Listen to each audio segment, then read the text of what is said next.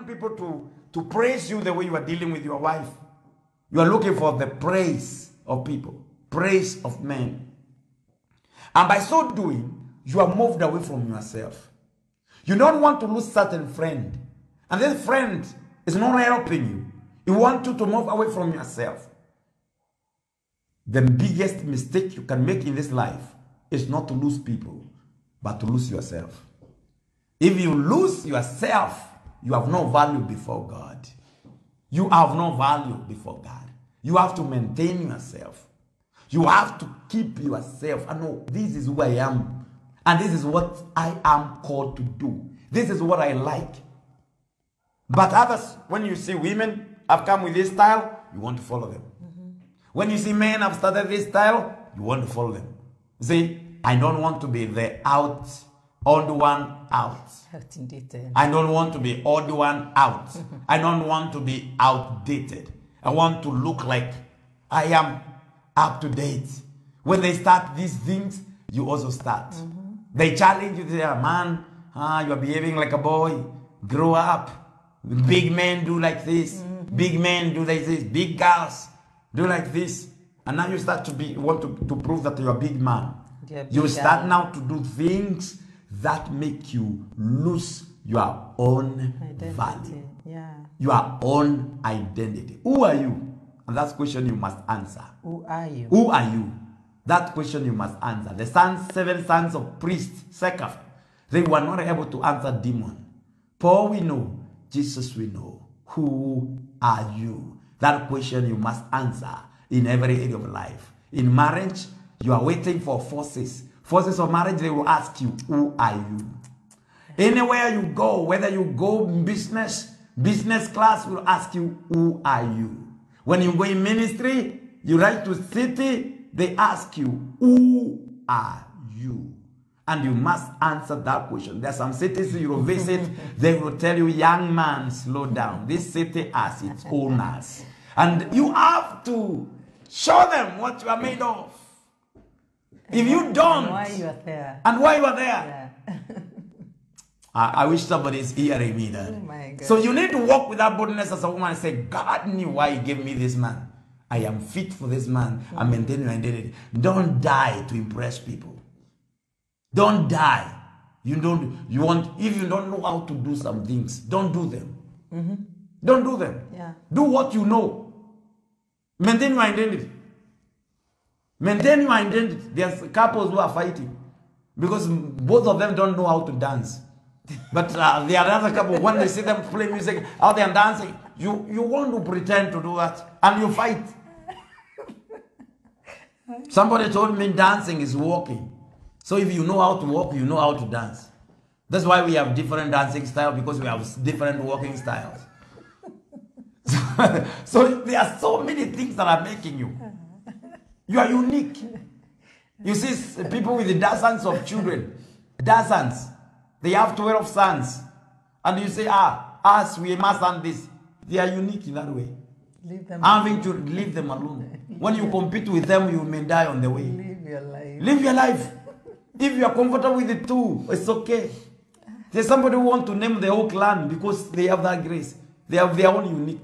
Even if they say, I want one, the last one, they get three. Like the, the No, they get three. and 44. And then you, hear that. Now, instead of the, the five that they said, they have now eight. Because the number was increased more than they expected.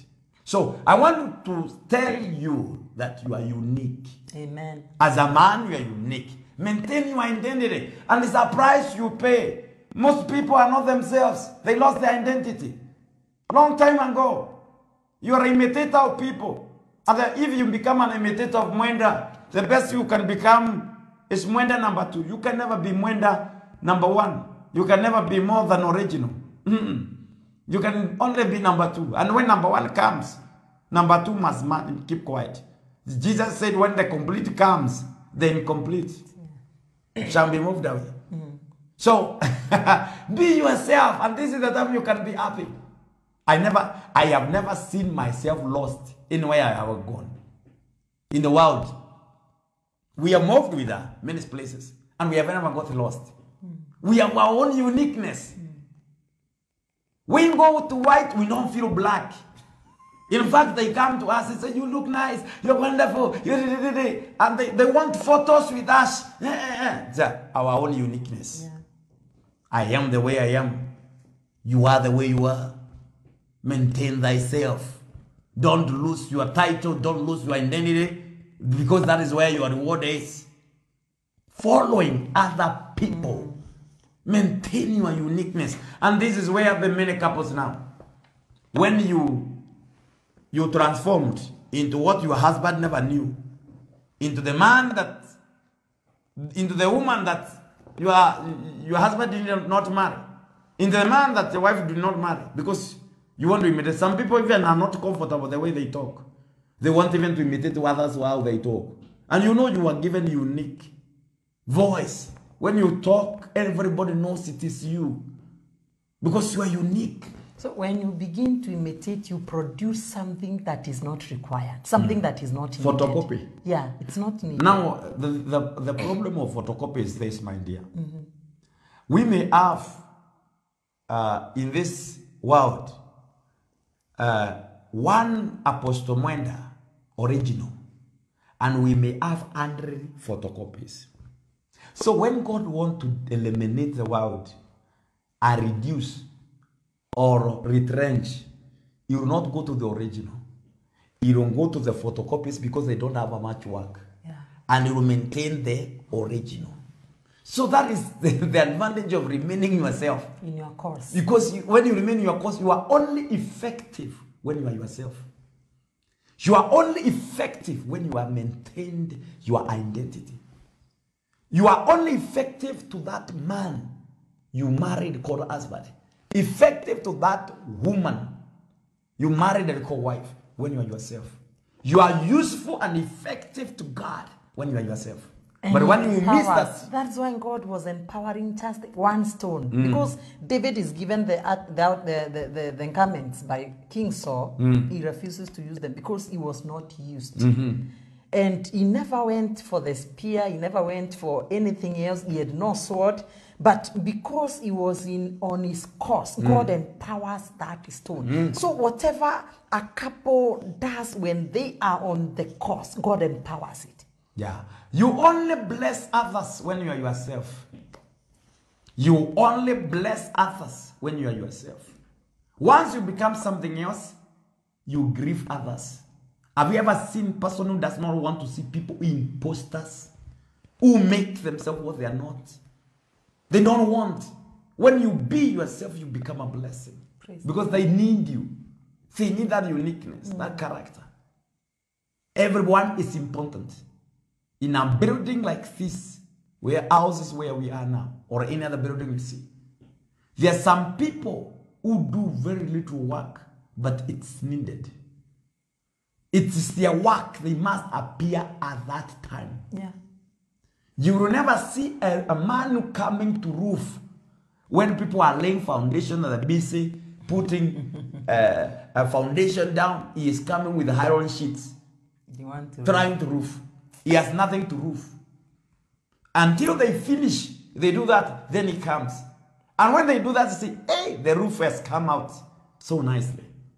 Then the other fittings come. That's how things are done. There is a couple that is supposed to be a roof. So when you walk together, God sees the roof. Hey, look at that roof. praise the Lord. But when you made yourselves wall, a stone that is hidden and you are supposed to be roof, can you imagine a roof that is underground? Things will not be nice. So you are supposed to maintain what you are supposed to be. You are unique. Don't worry. Some people are in a lot of worries and anxiety because they want to be like others. You want to be like so and so. You want to be like so and so. You want to be like so and so. Look at your brother. Your brother's done this. Look at the, the- what they have done. Look at what they let them do. That is what makes them happy. Yeah, yeah, yeah, yeah. There are so many people who don't drive happiness from the things that you see bringing happiness to you. Mm-hmm, mm-hmm. There are some men, when you buy a car, that's everything. There's a men, even if you come with anything, they don't feel like anything. The car is nothing to them. So why can't you be yourself? Some have done a lot of things. walking naked, half naked, going to the gym, reducing yourself, plastic surgery. Look, try to look like others. Be yourself. Be yourself. That's why you are seeing mothers hold. They are trying to be like girls, trying to fit in, and they are stressed. They want to be called young and sexy, and you disturb yourself for things that you're not supposed to disturb yourself. You're unique. Every age has its own uniqueness. Little girls, they have their own uniqueness. A little baby. When you grow, as you grow, you manifest different things and you show Every different stage. every yeah, stage. Yeah. So every stage, we need to see you fitting that stage and being happy. Others are disturbing us, themselves so much, so much, trying to do everything that others are done. They have taken their, their children to the school. They have done this. They have. Done. You are uni- Your children are also unique. Praise the Lord. They are not even supposed to be like you. They are supposed to be better than you are. Hmm. They're supposed to be improvement of your life. So you are not supposed to put your children under stress because you want to look to look like somebody else's children. Let them live their own life. One thing we were talking with our children another time they told us, we love you, and we love you for one thing.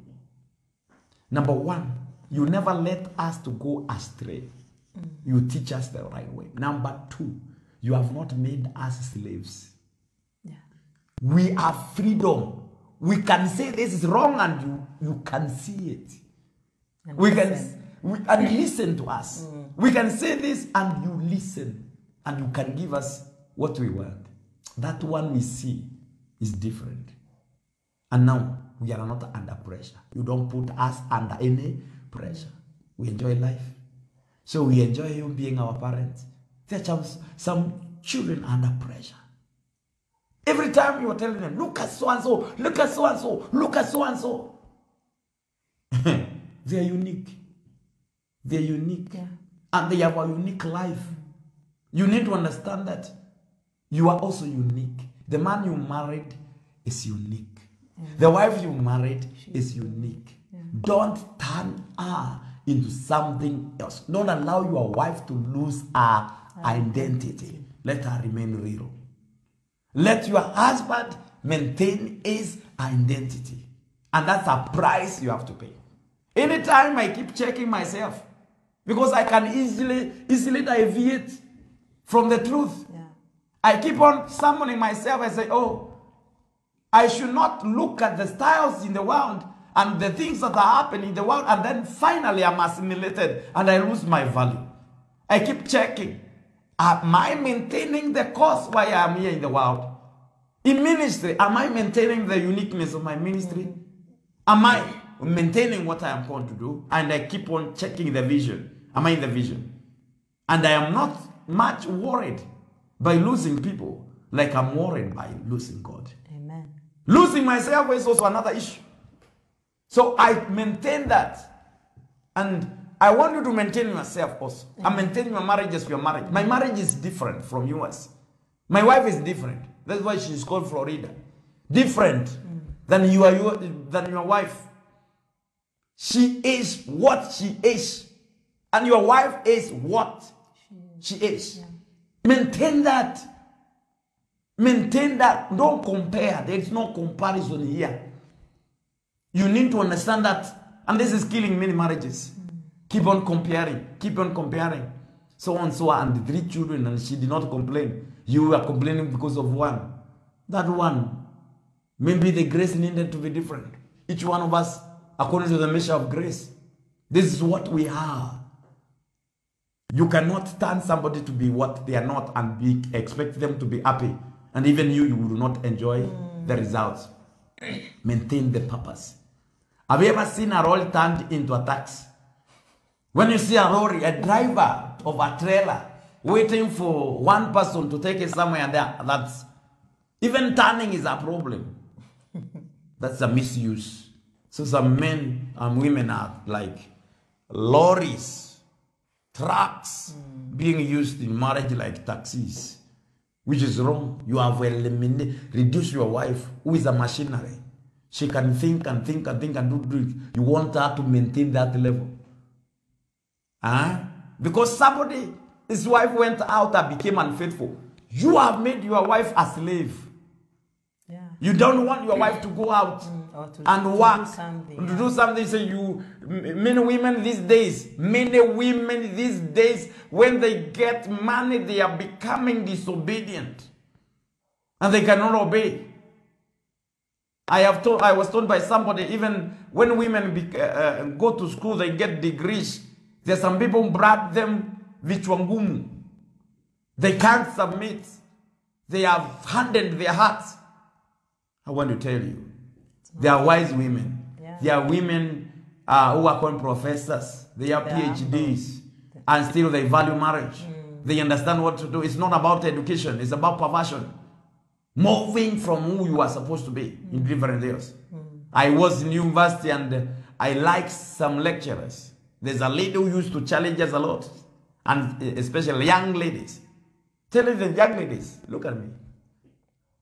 She ain't what many people were admiring. I say, when I go home, I am a wife, and that's why I'm very happy. Mm-hmm. Some of you, you get some just one degree, you can't do a thing of wife, and that is why they are frustrated. Look at them. And they go to work frustrated. Some have turned into drugs. That's why some educated women are more drunkards than even men today. Because they are looking for comfort, looking for joy. But they're not getting it. wrong way, yeah. It- Looking for love, a position from wrong places. Hmm. You need to change. In Jesus' name. You need to change and understand. Amen, amen. The value that I was given by God, if I maintain it, I am the best. I am the best. Mm-hmm. I am the best when I am myself. Couple, maintain your uniqueness. And that's a price you pay. Because there are so many who want to change you to make them, to make you like them. When we train people, we don't tell them to be like us. We tell them to be themselves To go to their place. to find themselves mm. and do. Because we are unique and they are also unique. Mm. We help you to identify yourself and do what you are supposed to do. May God help you to maintain your uniqueness as a couple. Amen. And then, number four, the price you have to pay. And I believe God is helping you. Number one, we said, maintain your spirituality. Number two, maintain your divine positioning. Number three, we have said maintain your identity. And I want to end this before I leave this. Thank you. I, I started this, listing them point to point. When you lose your character, you have lost your identity. It is your character that defines you. Mm-hmm. Your character is who you are at all time.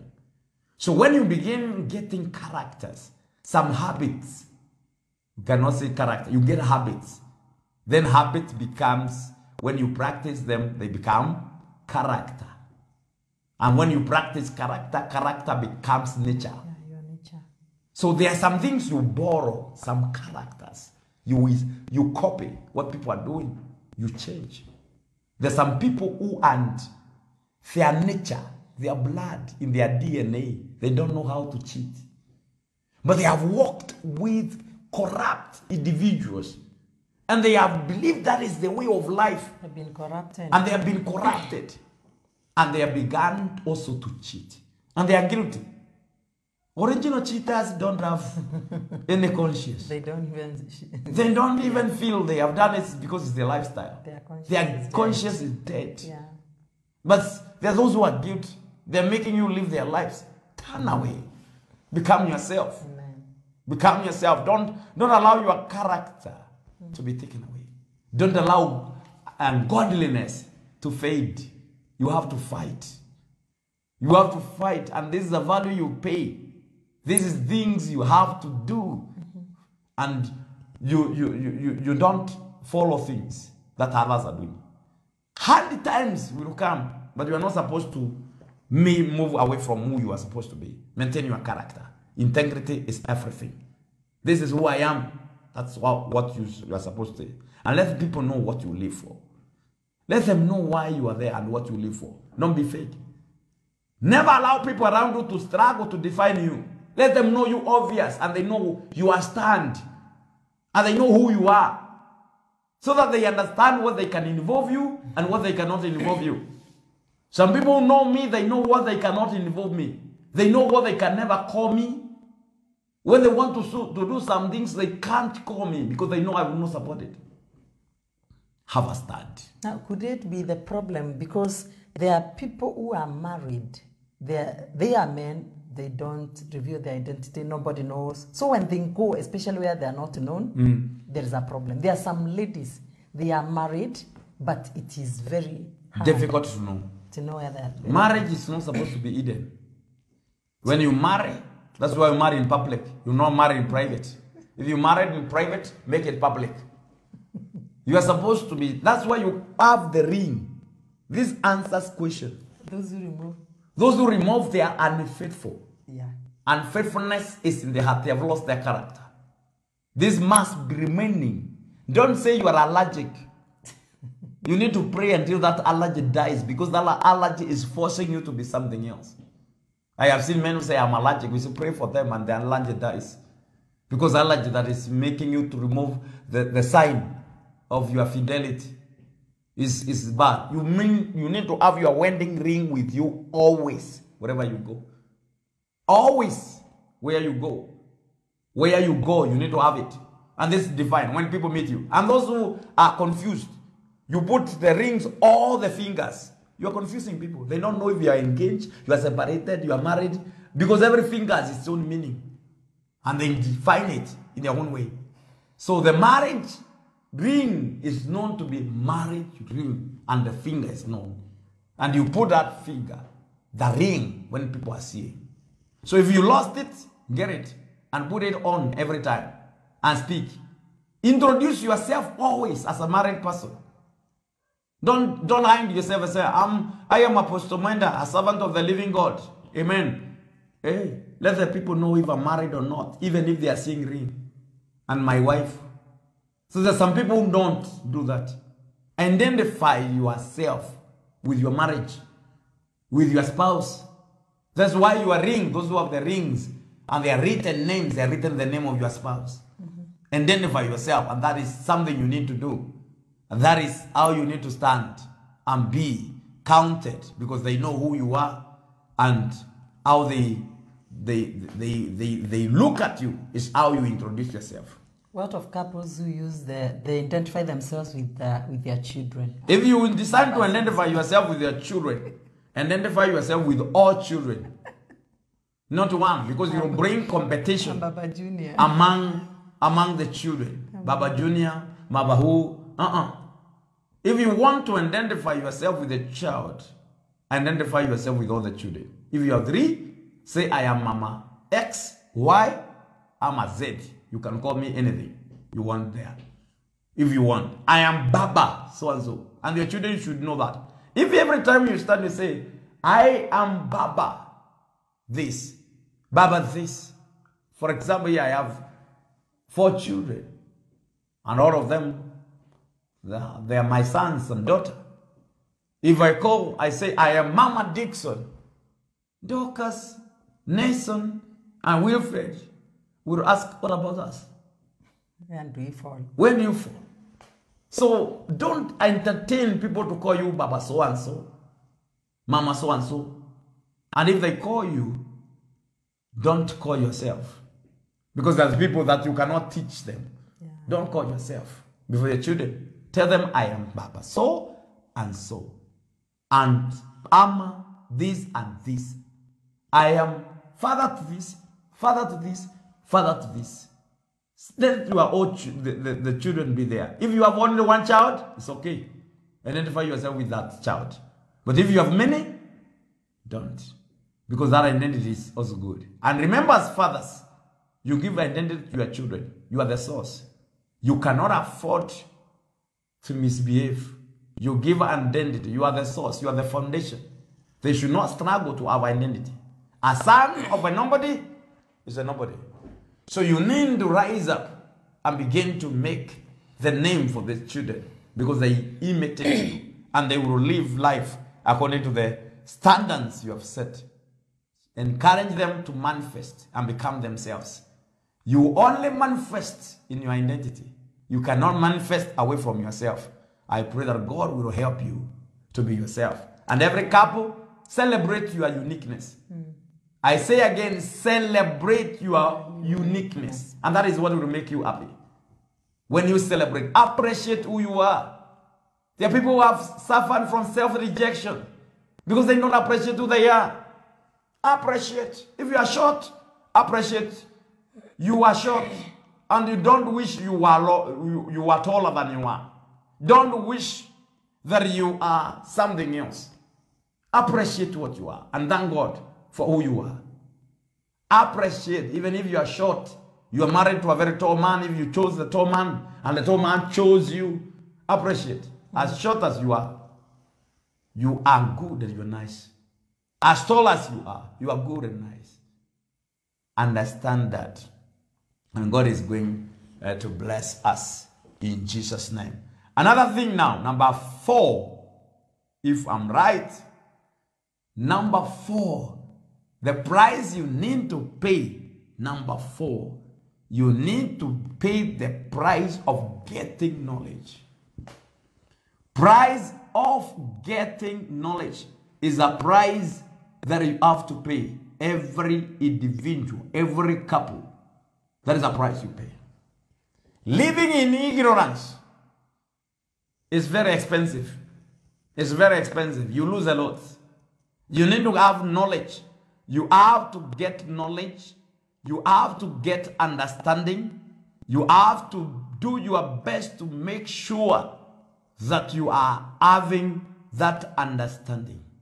Knowledge, you're supposed to get it. Ignorance will make you not live great life.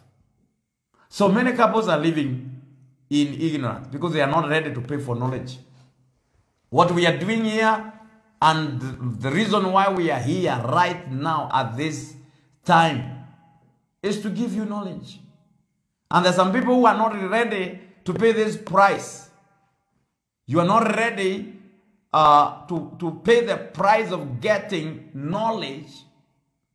And when you don't have that willingness, you lose a lot. Now, we say this, and this is very good. Say the foundation, one of the pillar in the foundation of a happy family is knowledge. Is knowledge, wisdom, and understanding. These are very key uh, pillar. Wisdom, knowledge, and understanding. Now, when you move to that level of becoming a person who has understanding, the person who has knowledge, then you are able to move into that happiness. And you have to pay every price needed to know how to operate in marriage, what you need in marriage, what you need to be effective. And this is what is lacking. I said this, and I've been saying this as my testimony in this uh, pro- uh, program, that I feared a lot to get married. I feared because I saw marriages are breaking. And men and women of God are getting broken. Even I never knew I would be in ministry. But I feared. I feared. And the reason why I was praying even to get a good wife is so that when she will become a problem to me, I will report her to God. That's what that's the only excuse I had. I never had any knowledge. But God told me it's not a must that your marriage have a problem. Say, what do you mean? Say, they have problems because they don't have knowledge. The people of God perish because they lack what? Knowledge. They have gone into captivity because they lack knowledge. So you need it. You need that knowledge.